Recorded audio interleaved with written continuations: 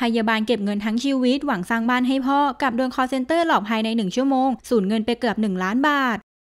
เมื่อวันที่ 11 มีนาคมได้มีการรายงานว่าหญิงสาวเอนามสมมุติ พยาบาลสาวแห่งหนึ่งในจังหวัดสมุทรสงคราม ได้เข้าแจ้งความที่สภ.เมืองสมุทรสงคราม หลังถูกแก๊งคอลเซ็นเตอร์หลอกให้โอนเงิน รวมเกือบ 1 ล้านบาท โดยสาวเอได้เล่าว่าตอนนั้นตนกำลังยุ่งกับการดูแลคนไข้ในโรงพยาบาล จึงถูกแก๊งคอลเซ็นเตอร์อ้างตัวว่าเป็นบริษัทพัสดุจากต่างประเทศ มีพัสดุค้างที่ศุลกากรเชียงใหม่กำลังส่งไปที่ประเทศจีน แต่ถูกอายัดเอาไว้ข้างในมีพาสปอร์ต8เล่มบัตร ATM จำนวนหนึ่งซ่อนในเสื้อผ้า5ชุด ต่อมาทางคนร้ายได้อ้างตัวว่าเป็นเจ้าหน้าที่ทำทีต่อสายโทรศัพท์ให้ชายอีกคน อ้างตัวว่าเป็นพนักงานสอบสวนสภ.เมืองเชียงใหม่ยศร้อยตำรวจเอกเร่งรัดให้แจ้งความออนไลน์โดยอย่างรวดเร็ว และมีการติดต่อผ่านไลน์ได้มีการขู่ว่า นี่คือคดีความร้ายแรงที่ส่งผลต่อครอบครัว รวมถึงมีการโอนสายให้คนร้ายอีกคน กดดันให้โอนเงินมาเพื่อตรวจสอบ เพื่อแสดงความบริสุทธิ์ใจ จึงได้ทำการโอนเงินไป 5 ครั้งภายใน 1 ชั่วโมง รวมเงินเป็น